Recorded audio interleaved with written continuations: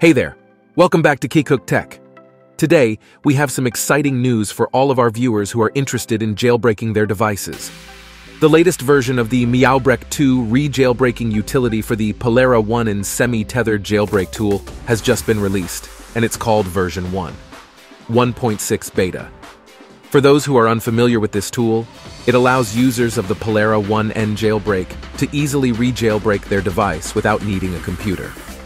This means that even after rebooting your device and starting it up in a non-jailbroken state, you can quickly and easily return to your previously jailbroken state.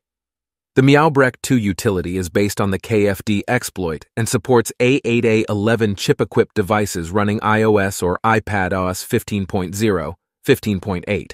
And thanks to the hard work of the project lead developer at Dora 2 iOS, we now have this updated version with some great changes and improvements.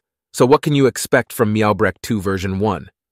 1.6. Well, first and foremost, it now fully supports the latest August 1st 15 release. That's right, you can now use Meowbrek 2 to re-jailbreak your device on the newest version of iOS or iPadOS.